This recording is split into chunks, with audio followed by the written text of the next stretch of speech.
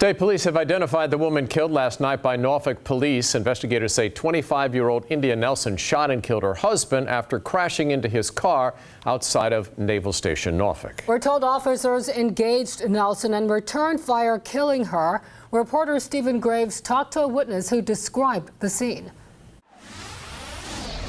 Police say it started out as a domestic dispute between a military couple.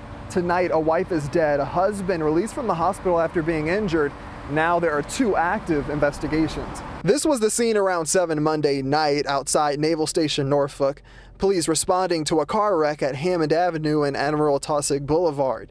Police say India Nelson was a driver in that crash with her husband after the two had an argument. Authorities say Nelson then shot the man. That's when a Norfolk officer returned fire, killing the 25 year old woman. The image of her body is hard to shake for this witness to the aftermath who didn't want to be identified. There was a what I would consider a large amount of blood uh, next to them. State police wouldn't say how many times Nelson was shot or if she aimed at the officer. That's all under investigation. But what we did ask the witness, so talk to me about how police were acting on scene. They looked in control of the situation completely.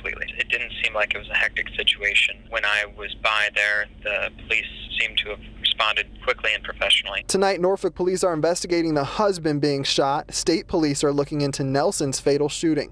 The officers involved in that incident are on administrative duty. The Navy confirms that the couple were both active duty sailors based at Naval Station Norfolk. Tonight, officials say a statement on the incident is expected tomorrow. Reporting in Norfolk, I'm Stephen Graves, 13 News Now.